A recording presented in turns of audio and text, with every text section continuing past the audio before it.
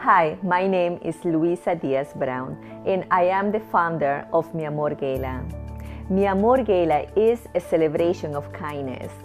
We celebrate the great things that people do for each other. Angels that empower other angels with broken wings through the gift of love. What motivates me to create Mi Amor Gala?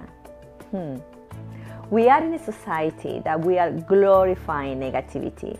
I know a lot of bad things are happening in this world, but also know that there is a great things happening.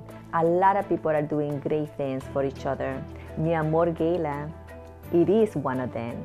Mi Amor Gala has been possible because of a snowball of kindness. And that is what Mi Amor Gala is. We celebrate the great things that people are doing for each other to make this world a better place.